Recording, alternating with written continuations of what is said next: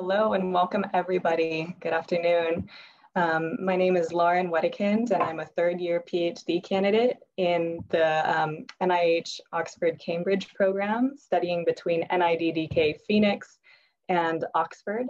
So welcome to the Lasker Lessons in Leadership with Dr. Cynthia Kenyon. It's great to see so many familiar names and faces, student and leadership from the OxCam program, also postbacks. Welcome all. I'll provide you with instructions regarding the Q&A after Dr. Kenyon's talk. But first, I'm going to introduce you to my fellow NIH OxCam program classmate, Jacob Gordon, who's going to be introducing Dr. Kenyon. Thanks. Thank you, Lauren, um, for the welcome. And thank everybody again for joining us today. Um, so my, like Lauren said, my name is Jacob Gordon, and I'm a first year PhD candidate um, in the NIH OxCam program based out of the National Institute of Environmental Health Sciences in Durham, North Carolina, and Cambridge in England. So our attendees today include a cross-section of individuals from the NIH, the international um, academia, representatives from industry, as well as science enthusiasts.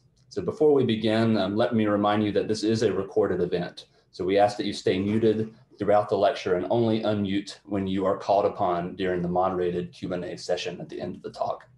So the Lasker Lessons in Leadership series is a collaboration between the Lasker Foundation, the International Biomedical Research Alliance, and the NIH Oxford Cambridge Scholars Program. So it is an absolute honor for me today to introduce one of the world's foremost authorities on the molecular biology and genetics of aging and life extension. Cynthia Kenyon graduated as valedictorian in chemistry and biochemistry at the University of Georgia and completed her PhD at MIT.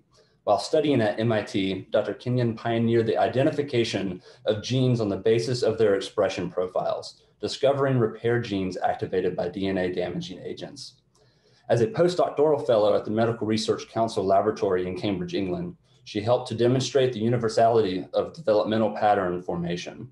In 1993, Dr. Kenyon's pioneering discovery that a single gene mutation could double the lifespan of healthy, fertile C. elegans roundworms sparked an intensive study of the molecular biology of aging. So these findings have now led to the, the discovery that an evolutionarily conserved hormone signaling system controls aging in other organisms as well, including mammals. Dr. Kenyon joined Calico in 2014 as the Vice President of Aging Research. Calico is a research and development company whose mission is to harness advanced technologies to increase our understanding of the biology that controls lifespan. Dr. Kenyon is a member of the U.S. National Academy of Sciences, the National Academy of Medicine, and the American Academy of Arts and Sciences and she is the former president of the Genetics, Genetics Society of America. She has received many scientific awards and honors, the most recent being last week when Dr. Kenyon received the 2021 Dickson Prize in Medicine. So without further ado, please join me in welcoming Dr. Cynthia Kenyon. Hi, everybody. It's great to be here. I love talking to graduate students. I'm going to share my screen now. Okay, so it's really fun for me to give a talk like this because I do think that during my life, things happened that make me think these were important um, lessons, really. It sounds kind of corny, but lessons. And so I entitled my talk, Life Lessons from a Small Creature, being C. elegans, which you can see here, beautiful little creature. Um, but then I realized that some of my lessons um, came before I even knew about C. elegans. So then I thought, well, we're really all small creatures. This is me. Um, so it's really a life lesson from two small creatures. So what I'm going to do is to just sort of go through my life, um, hopefully not in too much excruciating detail, and just point out what led to things that I think were important lessons for me. Um, okay, that influenced my life, and that I think are you might find relevant. And I just hope that from all this, someone might find something that's useful. Okay, so I was a little bit of a character when I was young, and I think I still am a little bit. Um, and my father always said, there's the right way, the wrong way, and Cynthia's way. Always said that. And then now my husband always says that because I made the mistake of telling him that my father said it. But anyway, I thought I would give you some examples, just a few. One is um, I liked animals. And so I, um, I had a pond in my house, like one of those children's um, wading ponds. It was blue, and I had it on the floor with goldfish and turtles. Um, and I had those actually all my life through graduate school. Uh, and then I even had a pond outside for guppies where I put a heater outside, although my father got mad because he thought I shouldn't be heating the outdoors. I convinced my parents to let my parakeet um, live without a cage. So I just put some sticks on the, you know, hanging from the ceiling with newspapers underneath, and he mostly stayed up there. Um, and then also one other thing I, I remembered um, is that, you know, it was really hot. I grew up in Georgia. It was really hot. And so I, I kind of got used to putting on wet clothes. Like I would wash my clothes, I would put them on right away and go to school or whatever. And by the time I got there, they would be dry, but I would be cool. So that's just a little example. So there's a life lesson there, which is good, which is kind of this fool around.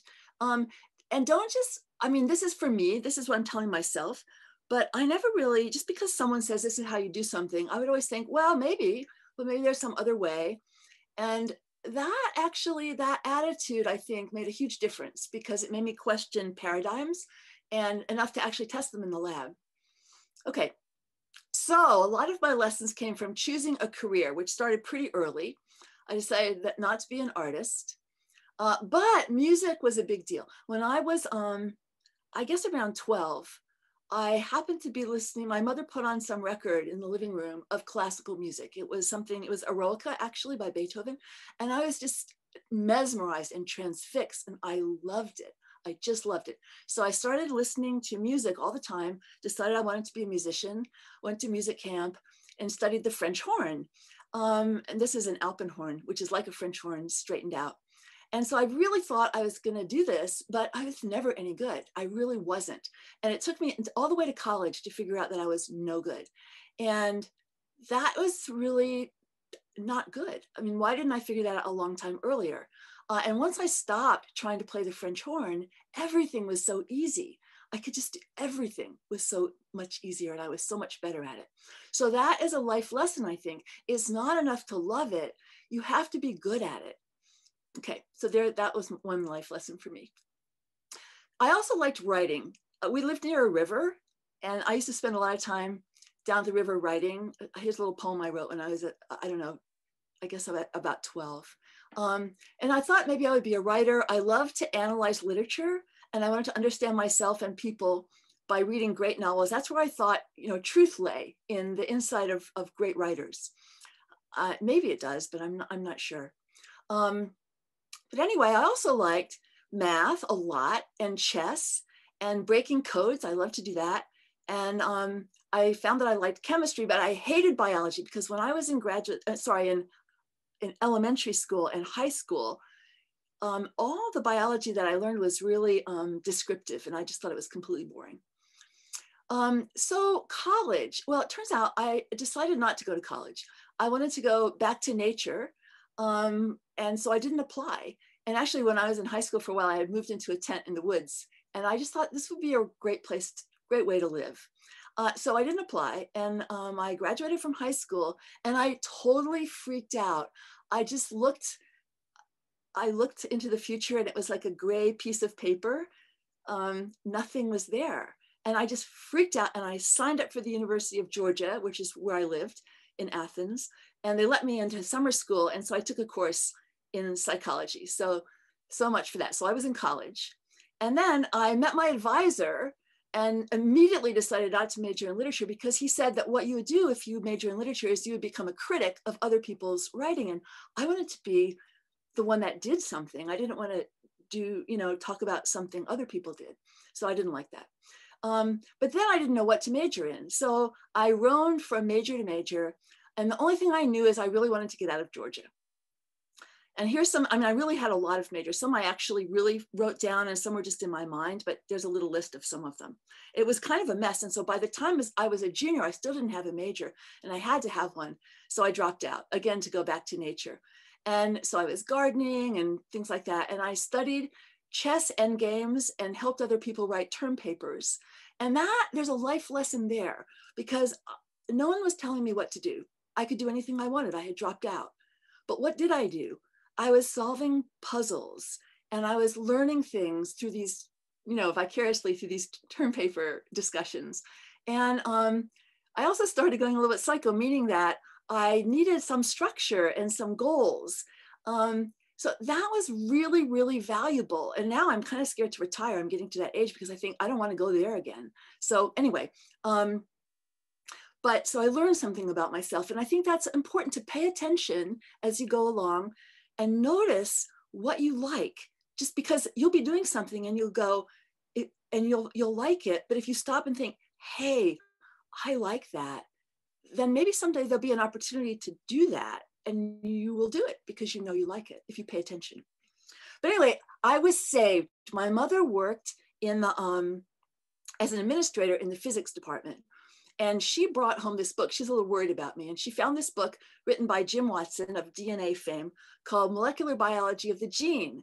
And instead of hating biology, now I loved biology because it was about gene switches, things like the lac operon, circuits and switches and logic and it was biology it was it was life it was animals it was nature so it was so exciting so i rushed back to school and um, loaded up on biology courses and other science courses and i also worked in a lab studying gene switches and I made a discovery, which was really exciting. And actually, that feeling, you probably have had it, of you're all alone, maybe it's at night, and you look at a gel, which is actually the way, this is not actually me, this is, um, but you look at a gel and there's a band on it and it tells you something that no one knew. No one knew that, but now you know it and no one else knows it. It's like you and and the essence of of the world, the universe. It's just the two of you and it's so addictive. So anyway, I was hooked for life. And I think actually in science, well, maybe science is really easy for some people all the time, but for me it was not easy. Sometimes it was super fun but sometimes there would be competitions which were really hard for me or you know nothing would work for a long time and that was really hard for me but i think because i loved it so much that i could i could make it through. And so i think that was really important and i i certainly loved it. So life lesson is not try not to do things that you're not good at like play the french horn if you're me and try to find something that you love. And that combination if you love it and you have an ability to do it is really dynamite. Okay, so I majored in chemistry and biochemistry, and my dad was always saying, keep your options open. Um, for example, I wanted to drop out of high school and he would not let me because he thought if I if I never went to college and I didn't have a degree from high school, I would have nothing. I would have nothing. So anyway, um, to keep my options open. So I did, and I made good grades. In fact, I made all A's all through school, all through all this. And then MIT let me into graduate school. So that's a big life lesson to me. Keep your options open. And I'll, I'll show you when an option closed in a minute, but that can happen. Um, there was another lesson that I just wanted to mention that I learned through all this education, which was learn how to learn. That might seem obvious, but they never teach you that in school. They just teach you things and you're supposed to learn them. But there are ways to learn and different ways for different people. And paying attention to how you learn is good because then you can learn new things and you always have to learn new things as the years go by. Okay, graduate school. So I was in the lab of wonderful Graham Walker, uh, who studied the back, well, he was studying mutagenesis really, but he was also interested in this thing called the SOS response, which, which was the bacterial response to DNA damage. And that was really interesting. Bacteria are just bacteria, but if you would, if you irradiate them or treat them with a mitomycin C or something like that that damages DNA, they change. They start growing as filaments. They, um, their repair ability gets better. Um, they, anyway, there's other things that happen, but it's kind of a whole um, cell differentiation in a way. Um, and nobody knew how this happened. The gene REC-A was known to be involved in it, but no one knew anything else. So um, something happened to me that let me figure a lot of this out, which was so exciting. So I'm going to tell you what it was because I think there's a little lesson there. So one of a great scientist named Boris Magasanik, who worked at MIT, went to a Gordon conference and he came back and he gave a summary of the Gordon conference. And I went to the summary. And what he, he talked about lots of different things, but one was this new bacteriophage, which had been a virus for bacteria, which had been constructed by Malcolm Casadaban in um, Stanley Cohen's lab when he was a postdoc. And um, this guy was a derivative of, derivative of bacteriophage mu. So it had mu on the two ends of it here. So it could hop anywhere into the chromosome of bacteria. And it carried a LAC-Z gene, uh, so colonies could be blue, but it didn't have a promoter for LAC-Z. So it had to, so if, if it hopped into the chromosome near a promoter, then LAC-Z would be expressed only when that promoter was on. And so um, Boris said that Malcolm Casadaban had wanted to use this to study the arabinose operon. So the idea was you could make an arabinose mutation with this phage because it causes mutations when it jumps into a gene. And then you would have a way of assaying beta gal expression, uh, not beta, yeah, for arabinose. So you could study arabinose by blue colonies. And I thought this was just great, so cool. So I told everybody I knew about it. I just kept telling people and telling people about this cool trick. And then one day, like maybe a week later, I was round, uh, coming around my bench to go to my seat in my lab, and it hit me that I could use this to see if genes were turned on in response to DNA damage, which is what we studied in the lab. And no one had ever done that. No one, now we, we do this kind of thing all the time with microarrays and stuff, but no one had ever looked for genes solely on the basis of their expression. But I realized that you could do that with this little guy um, for the SOS response. And so I did it and it worked. And I found all these genes that were turned on by DNA damage. So REC-A already was known to, but all these guys were genes that I found that were turned on by DNA damage. One was UVRA, which was very famous because it, um, it encoded a DNA repair gene. Um, okay, so there's some really big life lessons here, I think.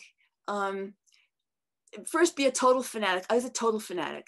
Um, I would never have had the idea if I hadn't left the bench and gone to the meeting review. So, you know, things like reading papers and going to reviews and just talking are good. And the other thing is I don't think I would have remembered for a whole week long enough to have the idea if I hadn't been telling everyone about it. So I guess that's my life lesson because it made a big difference in, you know, it's a really cool discovery. Oh, and by the way, I invented something which I thought I would share because I'm so proud of it. And when you work on bacteria, you pick colonies um, with a loop. So you have a Pasteur pipette that you stretch out and you have a little platinum wire with a loop at the end. So you pick your colony. And I had to pick all these colonies and I didn't like picking one loop at a time. So I made the super loop, which was a normal loop and then two other loops. And so I could pick three colonies before I flamed the loop. And it was very popular and other people in the lab liked it. And I think it's disappeared now, but I just wanted to share that with you. Okay, so the another thing I learned in, in um, graduate school, which really had a big effect on me, was this. Bacteria, so when you irradiate an animal or a bacteria, you cause thymine dimers and mutations. That's known, UV causes mutations. What I didn't know, and what's amazing, is that bacteria actually need a gene, a whole gene called umuC, to make mutations. If they don't have this gene, then UV will still kill them, but you won't get any mutations. And that just blew my mind because I just thought, well, of course, it's kind of boring, you know, it's a chemical, mutations happen. But no, a gene was needed to do it. So to me, this is a big life lesson and it influenced me later in my career, and I'll point to that, which is things that seem boring might be boring, but they probably aren't boring. Like people used to think chromatin was incredibly boring, for example uh, but they might not be boring and they probably aren't. And the other thing is nearly everything in biology is regulated. So if you think something just happens, maybe, but I think probably not. Okay, so then I went to England to do a postdoc with Sydney Brenner. And um, I wanted to, to work on C. elegans Bob, Bob Horvitz uh, was, who was working on worms already, was had a lab next to mine at MIT, and he was very inspiring to me. So I wanted to work on these little worms. Um, and Sydney was, as you probably know, amazing. Sydney Brenner is one of the foremost biologists ever, I think. He was part of the, uh, he helped to discover mRNA. He helped to show that the DNA code was a triplet code. He pioneered C. elegans as a model organism. And then he played a huge role in getting the big science and DNA sequencing established, um, which has been really, really valuable. And if you think about what Sydney did, every time he did something, well, first of all, he's brilliant beyond imagination, but he also went into new areas and pioneered them. And that was very inspiring to me. And so a life lesson to me was plunge into the unknown.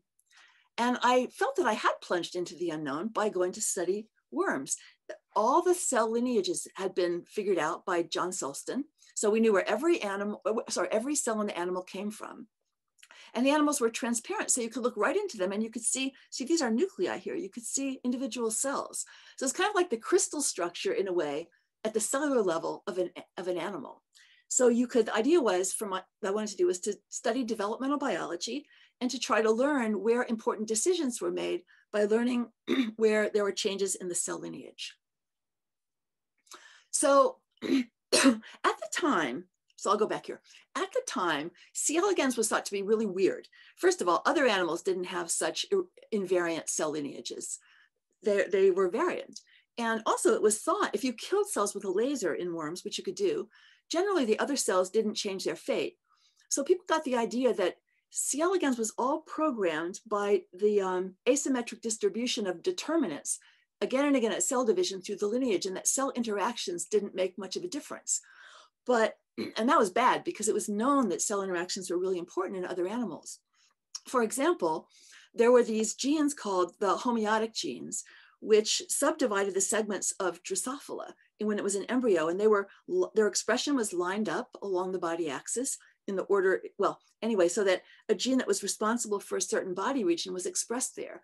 And these were genes that gave different body regions their identities. And they were just being cloned when I was a postdoc. And Peter Lawrence, who worked on them, said, Cynthia, why don't you stop studying the worm? You could come to my lab and you could study something interesting, Antennapedia, which was a homeotic gene in this cluster. And, um, and I didn't, I didn't. I thought, I'm going to stay with the worm so I can learn something new. So I, we, I found from years and years of studying in a dark room, um, watching cells divide, that a, this mutant called MAB5 um, was probably really interesting. In, in the MAB5 mutant, um, interesting things would happen. Cells that were supposed to migrate one way would migrate, but the other way. So they knew how to move, they just went the wrong way. And there were these little um, mating structures called sensory rays. You can see there's nine of them here. And this mutant, there were three, but the others were gone. So it, it had the ability to make rays, but it just decided not to make these rays. So it was it was really interesting. And so I, I studied and studied, and finally I figured out that all of the things that went wrong in this animal were in the same body region here, the posterior body region. And that was really interesting because the cells in this region, unlike in flies, where all the cells sort of stay put, these cells come from all over the place in the worm. They, they, they end up there, but they don't start out there. And plus, anyway, so this suggested if it's specific for this re region, that maybe there was some kind of cell extrinsic positional information in this part of the animal um, that no one had known about And Maybe it was something really new. So I was excited about it. So I'll take a little break before I um, tell you whether it was new or not. Uh, John Sulston, at, um, who was the one who did the cell lineage, he told me something when I was there that was really, really important and stayed with me my whole life. And, you know, even now, this comes up and it's about credit. People would argue about authorship and credit and things like that. And John one time said to me, always give people more credit than they think you deserve. Sorry, than you think they deserve. That way, maybe you will give them as much credit as they think they deserve. And actually, it's human nature, I think, to think that, you know, you're the one, you're the one, even if you didn't do that much. You think, ah, I was so important and you want to be recognized. And so it's nice to know, I think, that people are wired that way. Not everyone, but a lot of people, I think. Okay, John did this filth cell lineage I was telling you about. Okay, so then I went to UCSF and I cloned my gene MAB5 and lo and behold, it was Antennapedia of all things. Here it was. It, we showed that worms had this cluster um, with, with other labs as well, showed that they had this cluster and we did a lot to characterize it. Um, so it was good and bad. I was actually really upset when I learned it was MAB5. I thought, no, I wanted to find something new. Ah, but the world was excited and there was something exciting about it, which is if you look at these animals, worms and flies look really different. And worms aren't even segmented like flies are. And these genes were known to be in vertebrates also, um, like in mice and people. But everyone thought that's because they were segmented, but now it was clear that it was it was even more fundamental than that. But the kind of the take home message is animals look really different from others from one another and you think that that's probably something fundamental but they have the very same patterning algorithm they, they do it the same way. They just make different structures but they do it the same way with the same algorithms and the same genes. So that was interesting. Okay. So there was a life lesson about learning something new. If you want to do something if you want to learn something really new okay do something really different. So I thought at UCSF, where I was a professor, we worked on this and this was great. But I also wanted, I still wanted to do something really new. And so I had one idea love peptides. I had broken up with a boyfriend and I felt awful. And I thought, this must be what, an, what getting over an addiction is like. I don't want to go into it in detail, but it seemed to me that it was kind of like an addiction. So I thought maybe there are love peptides like, you know, morphines that are inside of you that make you addicted and I, and so I wanted to study them and I talked about them. But the problem was I had kind of closed my options, like my father said. I didn't know how to do endocrinology. I didn't know anything about it. So there are love peptides. Other people went and they found them and they're really interesting. And I could have found them, but I didn't know how to do it. So I studied aging and I could do that because I worked on C. elegans already. So why would I want to study aging? At the time, which was the early 1990s, aging was thought to be hopelessly boring, really boring. But remember, bacteria need a gene in order for UV to cause mutations, and things that seem boring probably aren't. And nearly everything in biology is regulated. So I thought about this and I thought, huh, maybe it's not so boring. Um, and the other thing is, different kinds of animals can have really different lifespans but they all arose from a common precursor. So there had to be, and they differ because of their genes and the, all these mutations that happen in evolution. So there must have been mutations in genes for aging, and that must be why they have different lifespans. So I thought, well, if they're mutations, if they're genes, I can find them genetically. Evolutionary biologists argued that there couldn't be genes for aging. They always were, they were extremely, and still are in my opinion, dogmatic. And it was great when there were no experiments. They could just say whatever they wanted and they could just argue with other evolutionary biologists, but there was no outside truth for them. And they said that there couldn't be genes for aging because if there were, by the time they were able to exert their effect, you would have already reproduced. So you couldn't pass the favorable genes on to your progeny. And there are ways around that, but I'm not going to go into that right now. But anyway, I just thought, I don't care. They could be wrong. And I'm going to look for genes for aging also I had this background in developmental biology. And I thought, you know, they're conserved regulators for pattern, maybe they're conserved regulators for aging. So this had been really drilled into me. Like firsthand, I was part of it, part of the discovery. So there's a life lesson there too. Try apply, applying knowledge from one field to another. Okay. Um, so it was really hard to get the project started, super hard. It took years there already was a mutation called AGE1, which had been reported to extend lifespan in worms, but the animals weren't very fertile. So people thought there was, they only had um, lived longer because they didn't put their resources into reproduction. So it was kind of not clear that it could happen. All these people, National Academy members, had all these reasons that there, you couldn't have a gene for aging. Like, for example, one said you couldn't get worm um, aging mutations in the worm because in order to live longer, you would have to grow, and the worms had a fixed lineage, so they couldn't grow. So that was it. And another person just told me that, another National Academy member who I will not name, um, told me that he knew people that would study aging. And he said it like this he said, he would just look down on me with scorn, scorn, like I am so much better than you. That kind of feeling that makes you feel like this small and horrible. Anyway, he said that he had friends that tried to study aging, but they fell off the edge of the earth. It's like the earth really was flat and you thought it was round and off you went and you fell off. And it was, it was the people would, and anyway, the other thing was people who studied aging were thought to study something really boring. So they were thought to be not good scientists. Um, and graduate students at UCSF, they wanted to be good scientists, not bad scientists. So they didn't want to study aging. So I couldn't tell, and my lab members didn't want me to. So I, I, I tried to capture rotation students before they signed, before my lab members got to talk to them and get them interested in the project. And one finally did. And he was this kind of cavalier person, not cavalier, but in a good way, a kind of a risk taker named Ramon Tabtiang. And he said, okay, sure, I'll look for long lived mutants. And so he did. And we found a long lived mutant. DAF2, and we found these mutants lived twice as long as normal. This was really luck. That's another life lesson. Luck is a really big deal. And this was, we were really lucky. But anyway, this mutant lived twice as long as normal and it stayed young way longer. And um, by the way, I was first author in this paper because I did half the experiments myself and I wrote the paper, and everyone else was a rotation student, and not one of them joined the lab. Nobody. So, however, new people joined the lab, and I was able to keep the project going, which was great. So, life lesson if everyone hates it, but you can't see why it's a bad idea, then go for it.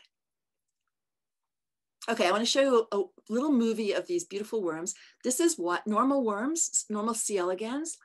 You can see why it's called elegans. This is the um, adult in two weeks. See, it has a very short lifespan. It's moving its head, but that's it. And here's our mutant when it's the same age. Look at it. It looks great. So it's a really kind of a, a miracle, except it's not, it's science.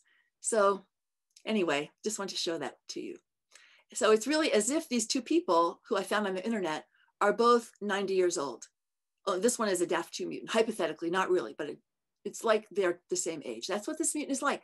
And I think that's really important because no one thought that was possible. I didn't, nobody did. And I think we wouldn't have invented airplanes if we hadn't seen birds fly birds could do it, heavy birds. So we knew it was possible.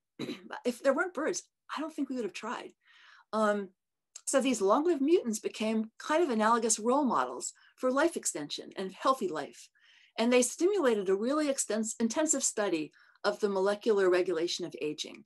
And there are hormones and transcription factors, and it is conserved. It's the same in the fly and the mouse. There are hints of it in humans. Um, yeah, so it's a, it's a nice story. And I have to say, I always wanted to study something completely new, but there's still new stuff all the time coming, people learn in this field and it, and it's new and surprising. So I'm, I'm here and I think I'm here to stay. I'm at Calico now, which is great. It's a still, it's like part, it's one of the alphabet companies and it's part um, basic research on the basic biology of aging, but it's also drug development. And so I get to try to see if I can make drugs that will make people have healthier lifespans and maybe age more slowly. So that's really fun for me.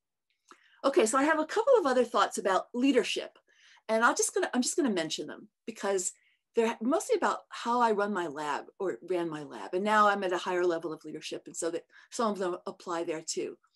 I don't know if this will mean anything to anyone and if these are the really good or not, but I always think of myself as a coach and not a boss. So I'm kind of helping my lab members to, I don't know, be terrific. And I like it when they think of their own ideas. Um, I really want everyone in my group to be more talented and smarter than I am. That's really great. It's kind of scary because you have a certain responsibility and you don't want to mess them up. And if, you know, but uh, I think that's a wonderful feeling. Um, I know I'm training the next generation, and the older you get, the more you realize that that is the most important thing. It is the most important thing to, to leave behind the most talented possible next generation of scientists.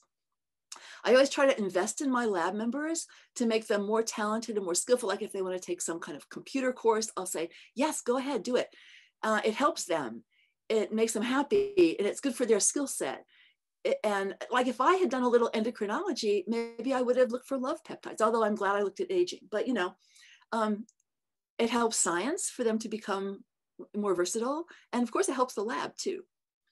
Um, I also strive to maintain generosity of spirit myself, and I try to encourage other people to do it too. It's always, life is, it's hard. Science is really hard sometimes. So why make it worse? Be happy and be kind, I think. And the other thing I do all the time is I ask questions. I ask questions out loud in meetings, and I don't have much of a filter. So I ask dumb questions sometimes. And it's, it's embarrassing, but I actually think it's good for me to do that. Um, I know it's at my own expense, perhaps, but dumb questions tell everybody else that, you know, she made it somehow and she asked a stupid question. Maybe it's okay if I ask a stupid question. So that's number one. It might embolden other people, especially in the lab, but maybe even in bigger settings. And also, a dumb question can lead to a discussion that very, very often um, creates a new idea. I've seen this so many times. And I think if you only ask really, really smart, educated questions, you won't really explore the unknown and get people to join you in doing it. So I think you cut yourself off from a lot that way. So I encourage that. So I want to thank my mentors, my lab members, my colleagues, and all of you guys for listening. And I hope, I don't know how much time I've used, but I hope we can ask some questions. So I'll stop sharing now. Okay. Thank you so much, Dr. Kenyon, for the wonderful talk. Um, so I just wanted to start off the question and answer portion. For the next 20 minutes, we'll be taking questions via our Zoom chat. So um, if you see the bottom, there is a button to open up the chat and I'll be monitoring the submitted questions there. So uh, when I call on you, um, please unmute and turn on your camera if possible, and then ask your question after you introduce yourself briefly with your affiliation. Um, if you're having technical difficulties, I'm happy to ask your question for you. Just be sure to specify that when you submit your question.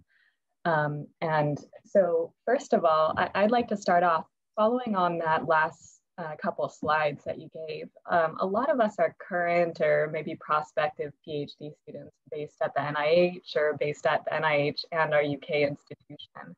Um, so especially for those of us who are just starting out like in the early phases of our PhD or applying, do you have any broad advice on how to start um, like making connections with potential mentors and and um, maybe based on your experiences as a student and also your experiences mentoring them? Okay, yes, two things. Um, the first is, and this was another life lesson actually for me. The first is um, you know, you're going to learn how to be a scientist as a graduate student. So look around you and try to find people that you think are good scientists that are sci- you will be a scientist that's kind of like your advisor. It's hard to avoid. So you want to join the lab of someone that you admire and that you want to be a little more like. And you also want to learn the kind of science that they work on. Not that you'll work on it. In fact, I think it's good to switch fields. I think it's really good that I went from bacteria to um, to worms. I think that was a great switch because I learned different things and it was synergistic. So, so you don't have to, as a graduate student, go to a lab because they do what you want to do forever, but do it because you you like the you like them. Oh, that's another thing. My life lesson. The first lab I went to was not a happy lab, and I thought I don't care. I like the PI. I'll be fine. And I don't know. I just didn't think it would apply to me, but it did. I was really unhappy in that lab because everyone was unhappy, and I ended up leaving the lab. And um, so I would also advise checking it out, talking to the people in the lab. Um, you know, you want to, life is tough. So you want to be happy. So it's good to go to a happy lab. So that's my answer. Great advice. Thanks so much on that. So I'll shift to questions from the audience now. So first of all, uh, Claire Pomeroy, could you unmute and ask your question? Feel free to turn your camera on. Uh, thank you for a fantastic talk. Um, you've had such a fascinating career in so many different types of organizations. Can you talk a little bit about the differences between working in academia and in industry? Because uh, many of the scholars on uh, listening on this talk are making those life choices right now. Um, yes. First of all, I want to suggest that anyone interested in this, there's a person named Morris Birnbaum who wrote, uh, he wrote a perspective. He was a scientist, at an academic scientist, and he was in my field, and he's a great guy. And he went to Pfizer. Um, and he wrote an article saying, What we have here is a failure to communicate, Morris Birnbaum. Um, and I would read that article because it's different it's different. It's not the same. In a way, companies are the natural extension of what we do in labs. I mean, companies are totally dependent on academia for the discoveries that are made in academia because they can use that information as a, a basis for drug development, for bringing it all the way to the clinic. Um, Calico is a little different because it, it's a 50% of it is really just ordinary academic like basic research but still there is a big drug development part and i'm part of that because i want to see if i can slow down aging in people um, but anyway i think there are differences um, first of all companies are much more they pay more attention to the process so i have a leadership coach now and i never even knew they existed in academia but i have actually someone that helps me to be a better leader and to get along with other people better than I do. Not that I'm terrible at it, but everyone can improve. And they put time into that kind of thing.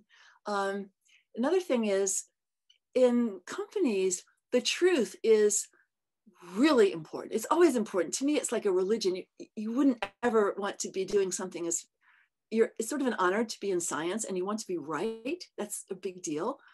But in industry, you have to be right. You don't want to make if you um, start working on something that isn't right, you waste a lot of time and money. It, it's it's horrible. So the bar for like instead of using like a p of 0.05 in industry really isn't good enough. You, you really it's just not what in academia it is. So that's another difference. The um, not that academics are wrong. I don't mean to say that, but it's it's a different kind of um, yeah, it's a different kind of bar in a way. Um, the other thing is um, I there's a lot more in in the company. So one thing I've always wondered about in academia um, is often labs are little fiefdoms or little i like to think of them as small companies where you're the ceo and you have your little company and you do your thing um, but at in in uh, in companies, it's much more collaborative. People are always mingling with each other and helping each other and teaming up. Teams just organize, they self-organize from all over the place to for for projects. And actually, drug development involves a real huge organization where each team has its own job and hands off to the next team. So organization is is very um, very important, but you really have a feeling of working toward a common goal in a company. And you have the feeling in academia too, but I think it might be a little bigger in a company in general. So those are, you know, I don't know how helpful that is. Those are some things I think about, but I, I do recommend that article by Morris Birnbaum. Thank you. Great. I've added that article to the chat. Um, Pharma and academia, what we have here is a failure to communicate. Thanks for that recommendation. Oh, thanks for doing that. Great. Sure. Uh, so going on to Sean's question. Sean, if you can unmute and introduce yourself briefly. Hi, my name is Sean. Can you hear me? You good? Yeah. Okay. Hi, my name is Sean Corcoran. I'm a second year um, student in the program. Um, and my question was, so it seems like you took a lot of risk throughout your scientific career and you were very successful. Um, but uh, how did you, how were you able to balance like the combination of luck and skill it takes to be successful approaching very risky questions and problems that might not pan out um, and still be successful? Yeah, what I did was I, um, well, my postdoc was a total risk actually. My, as, as you know, my graduate career, I heard Boris give that talk and I tried it and it worked. So it was like a charmed existence and it was so much fun. And, you know, I already had a project. And when you, I looked for, for colonies using replica plating that would turn blue um, if you gave them a DNA damaging agents, but not if they didn't. So it's like two weeks, you do the experiment. And if you don't get any blue colonies, you're done. And um, so it was, you know, it's not really much of a risk. It's I think you always should do that, especially as an early graduate student. If you can, it's nice to have your main project, but just try a few other things because if they work, it could be great. As in terms of um, my postdoc, though, that was really hard because I thought Mab5 was going to be interesting, but it just took it took a really long time to figure out. I, it sounds crazy that that it that there was this posterior thing about the phenotype because in all the posterior, all the interesting structures in the male were in the posterior and not in the hermaphrodite. So there was a sex thing. It was all very complicated. But during that time, I, you know, I couldn't, like if someone, I actually worked at night, partly because everyone was always screaming in the day and um, arguing about not getting their paper into nature. And I thought, I'm never even going to have a paper, you know, or it's never going to be interesting. It was horrible. But I don't know. I just kept on. And I guess it was good because you learn how awful it feels. So if a student feels awful, you can identify with it. But anyway, that was really hard, but it did turn out well, probably because I went into something that was unknown. So pretty much every time you turned around, you would learn something new, even if it was still, you know, just like flies almost in the end, it was still interesting. Um, with aging, by the time we started studying aging in the lab, I already had a lab. They were studying um, uh, pattern formation, you know, these migrating cells and things. They were busy learning more about homeotic genes in worms. And so I just thought, I really want to do this. And it was really just a rotation student. Now, if he hadn't, I mean, it might have taken a few more rotation students. We were lucky to find it when we did, but they were there. So we would have found those, those mutations. But at the same time, I didn't like stop my lab and say, okay, now I'm going to try this other thing. It was already going. So if it hadn't worked, if that's the nice thing about genetics. If you think, ah, maybe there's a gene for this. And if you look and there's no gene, there's nothing to study because there are no mutants. So you're done. So I guess, yeah, I think you have to have um, a sort of a safety net. And you have to be able to cut your losses and know, kind of have a sense of when to do that. But I think if you don't take a risk, it's not as much fun and you probably won't. I don't know. It's just really fun to be more risk taking, I think. All right, so going into that question a little further, uh, Chad has a couple follow-ups. So Chad, if you could unmute and introduce yourself briefly. Hi there, um, my name is Chad. Uh, I'm a final year OxCam student, but between uh, the National Cancer Institute and the University of Oxford.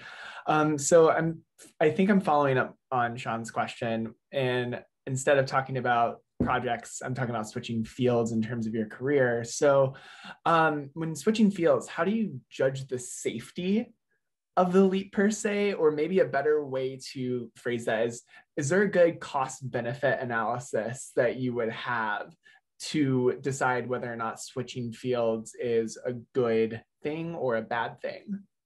Yes. I, I mean, I don't know if I know the answer, but I have some thoughts about it. The first thing is um, it's always good to learn new things. So if you switch fields and if you can shift, make a pretty big shift, that's a good thing because you'll learn something really new. And the more you really do, when you can apply something from one field to another, it's really powerful. A way of thinking or technologies, so that's good. Um, that's the first thing. The second thing is in the field, I think you want to think that there's a there there, that this really is a field. Um, I don't think it would have been a good idea necessarily to join the aging field in the decade back when everybody thought it was there was nothing to study and not have a, an idea to do genetics because people were just sort of wandering around, not really learning much, in my opinion. Um, but if there's a field that where people are learning things, but there's a lot, a lot of unknowns. You know, whenever you do an experiment and you get a result that you don't expect, or like with me, actually, I forgot to say this, but this is a big deal. When we found the DAF2 mutant live long, um, there was a lot of resistance to that. People had all sorts of reasons for why it might live long that were boring. And they just didn't want to accept that it was interesting. In fact, this person wrote a news and views at, with my nature article saying that this was really not interesting at all. And she now works on this same topic. But um, I think when you when you feel that resistance, you know that you're doing something important. You know, if you if you do an experiment and you get a result that is it's true, it's not like you dropped, you mislabeled your tubes. It's true. And it's not what you expect. That means that it's a fertile field. There's stuff that you don't understand. And that's where you want to be. And especially if there's resistance to your ideas, then you really know you're, you're where you want to be. You've got to push because you're changing a paradigm. You know, once everybody thinks, oh, yeah, you know, of course, I predicted that and everybody predicted it and you showed it. So, what's the information content in that? I don't know all right that's that's cynthia that's how i feel other people can feel differently certainly all right thanks for that we're nearing just a few minutes left in questions so we'll try to accommodate the next couple we have one from Critica. you go ahead Critica. Hi, Dr. Kenyon. Uh, thank you for your great talk. Um, I'm Critica. I'm a first year NIH Rhodes Scholar here at Oxford. Um, so yeah, just end of the day over here. But um, in the OxCam program, we have um, most of the students have more than one mentor. So usually it's one on the Oxford or Cambridge side and one on the NIH side. Um, and based on your talk, I've been writing down all these lessons that you've learned from your mentors.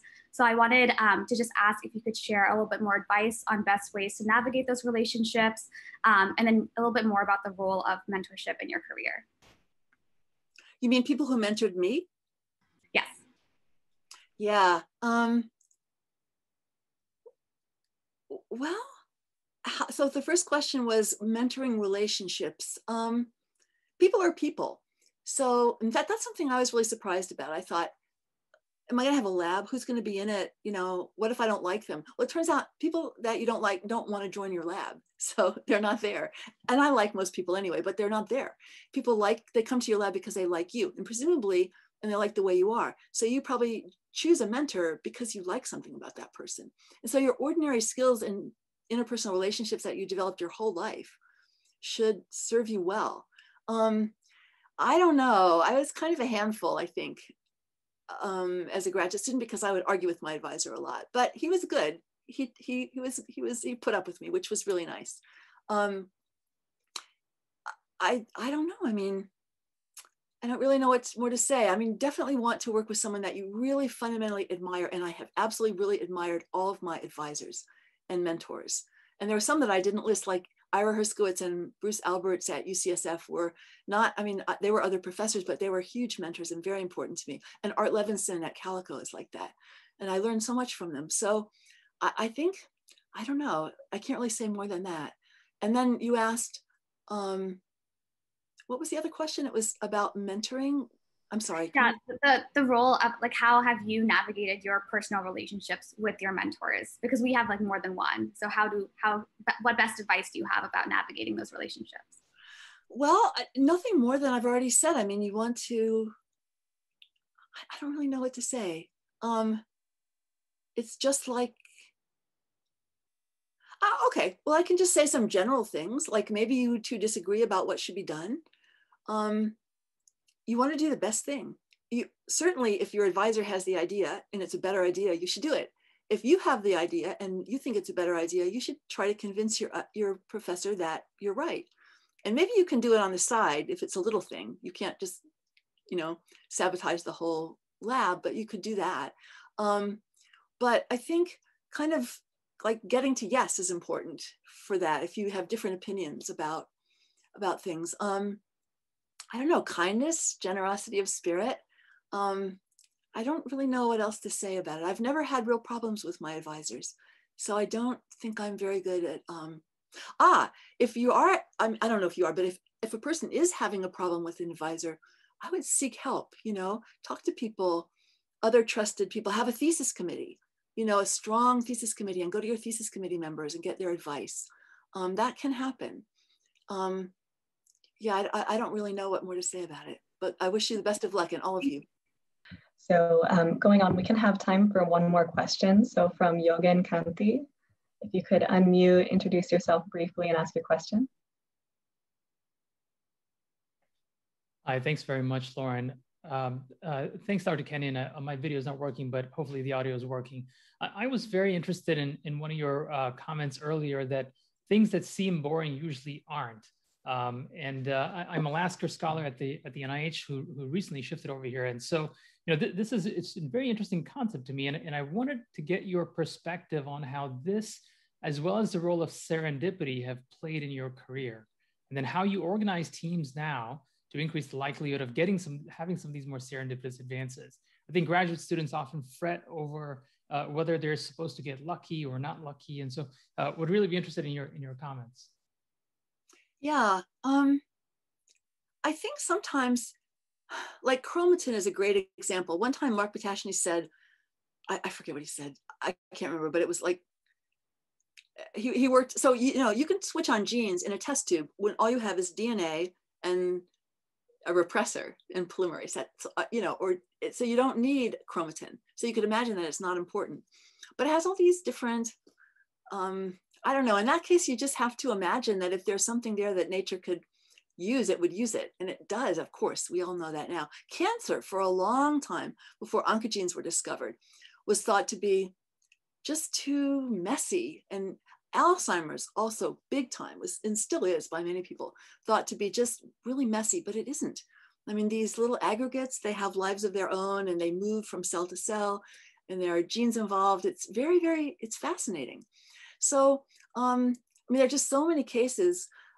I mean, if something happens like aging happens to everybody, it, and but it happens at different rates. So what more do you need? And there's something there, right? Because if it weren't, you just all fall apart at the same rate. So anyway, um, so that's the first thing. Um, just always ask yourself, this sounds boring, but could it be interesting?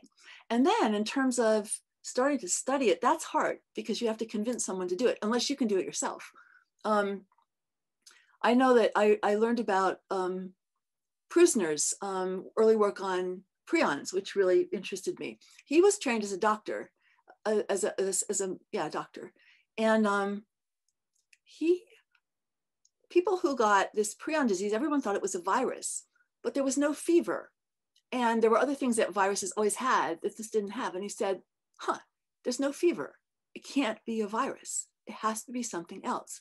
And you know, I don't know if you know the story, but it was a self-replicating protein and the whole concept was crazy. And he was really kind of ostracized um, and big time. And he had to work really hard to show that a protein could actually, and it wasn't just replicating in terms of the number of proteins, it was the conformation that was replicating. It was a really new concept and it was messy and kind of ugly and it needed a whole new way of thinking and no one believed it, but he knew it couldn't be a virus because you would have a fever and these other things that I've forgotten. So yeah, I guess you just have to figure out a way to do it. Maybe convince some other people that it's interesting, like rotation students, or do it on the side, or just read enough about it that you can really make a good argument there's um, there are grants for people who want to try crazy ideas, but if it's really too crazy, even those people turn out to be kind of conservative. So you just have to do your best. But people do it. People do it. That's the history of science. If you look at it, there's a lot of messy stuff that's turned out to be fascinating in the past. All right, well, your question and answer section and the talk both illuminated a lot about the mysteries of aging and your research, your approach to mentorship. So really appreciate that. We've gotten a lot of good feedback from folks um, across the board as faculty members, uh, NIH investigators, and students. Well, um, so just wanted to thank you overall for being our Lasker Lessons in Leadership speaker for March 2021, Dr. Kenyon. Our next Lasker Lessons in Leadership is scheduled hopefully for in-person if it's safe in the fall with Mr. Kenneth C. Frazier. So please take a moment to fill out this survey that's linked in the chat. I will submit it to the chat.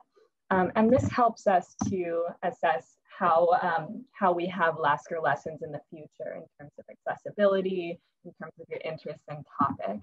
Um, and I also wanted to thank Randy and Alex from the Biomed Research Alliance. Um, so thank you so much. And uh, if you had anything to add, Dr. Kenyon, about, you know, if, if people are welcome to contact you with other questions. Um, yeah, so thank you so much on behalf of OxCam. I just want to thank everybody. It was a lot of fun for me too. So take care and bye-bye. All right, take care. Bye, everybody. And please take time to fill out the survey. It should only take a moment.